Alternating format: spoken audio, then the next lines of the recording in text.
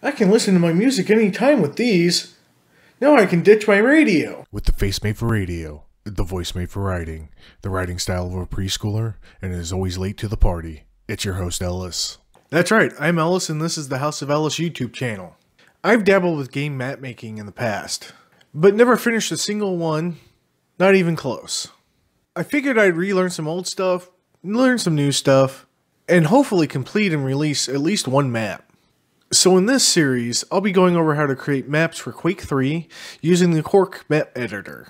You might be saying, man, Quake 3 is so old, that ship left a long time ago. Am I late or am I early to that party? With all things retro coming back into style, Quake 3 is bound to have a revival, right? Even if it doesn't, hopefully this series of tutorials will teach us about map making. As a side note, I could have picked from a bunch of different games or mods, but I noticed a lack of seasonal and holiday themed maps for Quake 3. Also, this series will be a test of the new toy I purchased. The Cloner Alliance HDML Cloner Box Pro. I'll post some links down below relating to it. So if you're interested in following this series, go ahead and click that subscribe button and maybe even ding that bell. So until next time fellow YouTubians, go out and frag online.